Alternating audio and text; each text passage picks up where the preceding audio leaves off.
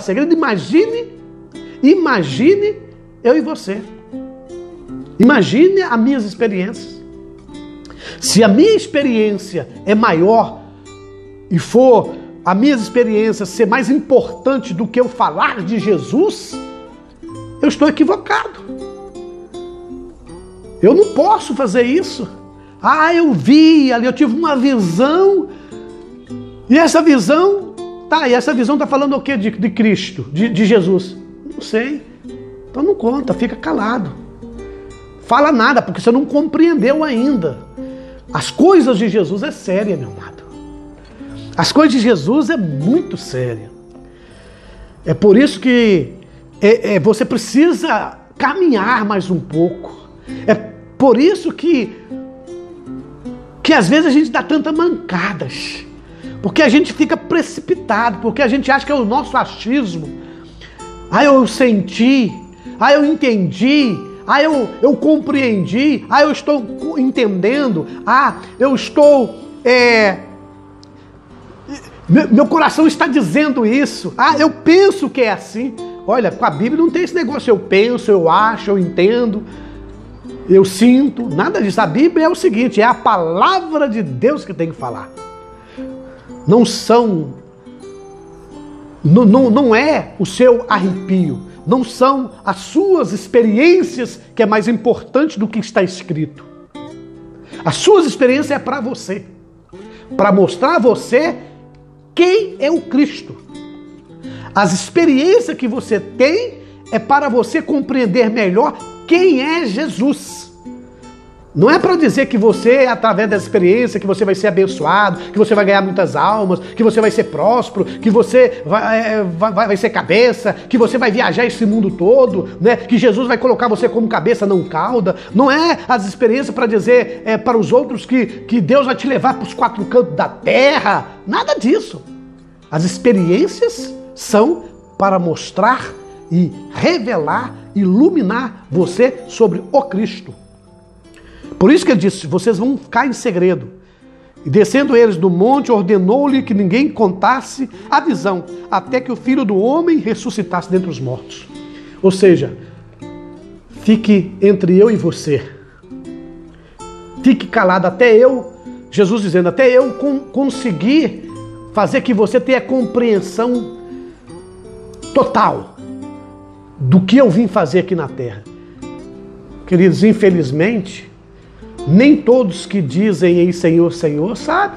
Nem todos que dizem aí, ah, eu, eu, eu, eu sou um cristão, ah, eu sou um líder, eu sou um pastor, eu sou um padre, eu sou um bispo, eu sou um apóstolo, eu, eu, eu estou, eu, eu fui o escolhido, eu fui o chamado por Deus. Nem todos estão aptos para falar, porque na verdade eles querem falar dele.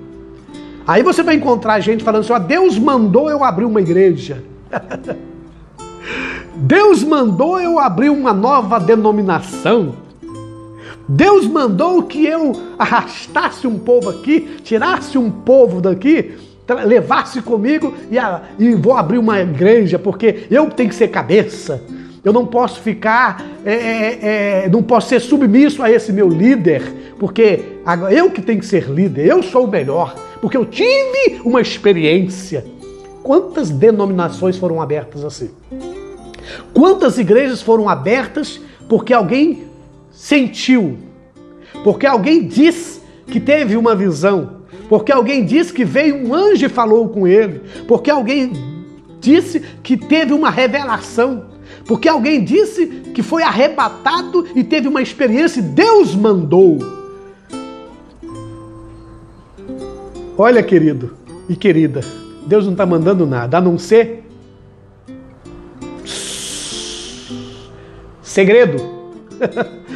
Porque não é abrir igrejas, não é abrir denominações, não é eu ser pastor presidente, não é o seu líder espiritual de, de um grupo. É Jesus Cristo. As experiências mostram Jesus Cristo. Então não seja, não, não entre nas ideias, não caia na, na, na, na, na conversa não entra na conversa desses que falam dele mesmo, o narcisismo. Ele ama ele mesmo. Ele ama ele mesmo. O líder ama ele tanto que quer agora te dominar. Quer agora dizer que ele é a pessoa que tivera a iluminação para liderar você. Eles não tiveram a compreensão da, de fato de Jesus. Ele é o seu próprio Deus. Ele é o Deus dele mesmo. O que Jesus ordena aqui para descer do monte é falar, é, é ficar em segredo. Não é contar experiências. As experiências não podem ser maior do que Jesus Cristo. As experiências é para apontar para o Cristo, não para apontar para o homem. Que Cristo, Cristo, que o Cristo cresça e eu diminua. Que a visibilidade não seja eu, que a visibilidade não seja o líder, que a visibilidade não seja o pastor, que a visibilidade não seja o papa, que a visibilidade não seja o bispo, o apóstolo, que a visibilidade seja, a centralidade seja Jesus. O Cristo. Escola de Jesus é para isso. Nós temos, precisamos compreender isso. Nós precisamos compreender o que Jesus está querendo dizer. Tem muitos bocudos aí. Tem muitos dizendo que Cristo falou e Cristo não falou nada. Tem muitos dizendo que eu acho, que eu penso, que eu entendo, o que eu compreendo, o que o meu coração é fala. Realmente é o que ele acha, o que ele pensa, o que ele entende, mas não é nada que Deus fala. Eles falam em nome de Deus. Eles usam o nome de Deus, a Bíblia, o nome de Jesus para comercializar, para melhorar, a ponto de que a preocupação maior dessas pessoas é que a igreja dele enche, é que ele tenha muitos crentes sentados no banco, ouvindo ele pregar e aplaudir ele, bater palminhas para ele, bater nas costas deles e dizer assim: olha, que palavra, que mensagem massagear o ego. Sai fora, cara. Ainda não entenderam, não compreenderam. Tiveram a experiência, tiveram a iluminação, mas ainda não tiveram a compreensão de quem é Jesus. E você olha por aí, você liga a sua televisão, você vai ouvir, vai ver e vai ouvir. Você liga o rádio, vai ouvir vários pregadores aí. Venha! Né? Igual aquele programa lá de, de humor. Venha! Quer dizer, venha pra mim. Sai fora, rapaz. Sai fora. Porque essas pessoas não estão entendendo de fato quem é Jesus. Eu falo isso com muito tremor e temor. Eu falo isso para você com muito temor e tremor, sabe por quê? Porque eu era assim. Eu fui 18 anos, 18 anos assim, como pastor. Eu pensava que era assim, é que Deus tinha me chamado e que eu seria o cara. Para você ter uma ideia, que eu chamava atenção para mim. Eu que era o cara. Eu tinha uma igreja com 4 mil membros. É isso mesmo. Eu tinha uma igreja com 120 obreiros, pastores debaixo da minha proteção. Eu andava e muita gente ia atrás de mim. Eu, eu caminhava, muitas pessoas ficavam atrás de mim, dizendo: Olha, aquele é o pastor Márcio lá. Quantos pegaram a minha gravata? Quantos pegaram um pano, o meu lenço, a, a, o meu, a minha camisa e levaram para os enfermos? Onde eu passava, as pessoas apontavam: Aquele é o pastor Márcio lá. Aquele lá, ó. Eu pensava que era assim. Mas um dia eu encontrei com esse Jesus e entendi, eu tinha entendido parte de quem era esse Jesus. Eu tinha tido a iluminação em 1981 que Jesus é o meu Salvador, mas não tinha compreensão geral do que ele é, que ele que é importante, não eu. Eu achava que eu que era. E a ponto de eu dizer assim: aonde eu passo, as igrejas crescem. Aonde eu passo, o povo me, me anda atrás de mim. Caravanas e caravanas vai atrás de mim, vão atrás de mim. Caravanas e caravanas, pessoas andam atrás de mim, querendo me tocar, tocar no, no meu corpo, querendo uma palavra, uma oração minha. Tudo, tudo falsidade. Tudo falsidade, porque eu estava querendo me engrandecer. Eu estava querendo ser um Cristo. Eu falo para vocês que, na verdade, eu não entendi assim. Eu pensava que de fato eu era de Deus. Eu pensava que de fato, não, eu sou de Cristo. Tá vendo como é que a minha igreja está crescendo? Tá vendo como é que o povo está atrás de mim? Tá vendo como é que as coisas estão melhorando financeiramente, né? Tudo bom, tudo bênção. Eu sou de Deus. Querido, realmente eu era de Deus. Mas o que eu estava fazendo, as minhas experiências, era para engrandecer a minha pessoa. As minhas experiências é para exaltar Márcio Antônio Fernandes.